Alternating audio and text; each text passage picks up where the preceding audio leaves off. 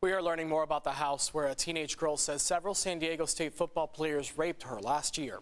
Neighbors say the partying on the street is out of control. And as CBS 8's David Gotfredson reports, cell phone video shows a history of students partying in the neighborhood. You can hear the party noise from out on the street.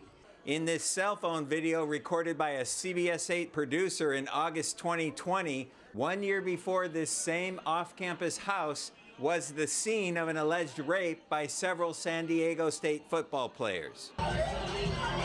At the time the video was shot, CBS 8 was documenting parties in the area because neighbors were complaining about San Diego State students out of control.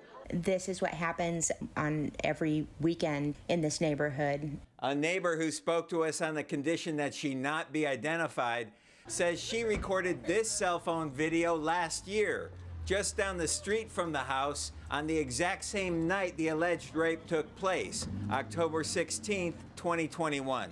There was a party behind us that was broken up by SDPD at about 10 p.m. and the students all walked around the corner over to here and there then became like a mob and they wouldn't leave. They were looking for something to do.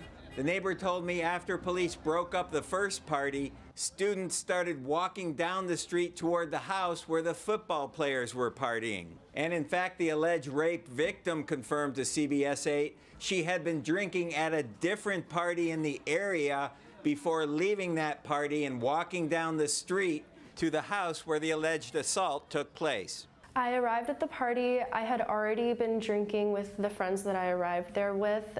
I was already very intoxicated. The teenager or her friends are not seen in the video shot that night by the neighbor down the street, but the neighbor was heartbroken to hear the then 17 year old girl may have been raped in a bedroom by several San Diego State students. I was absolutely sick to think I was standing out there when that was happening.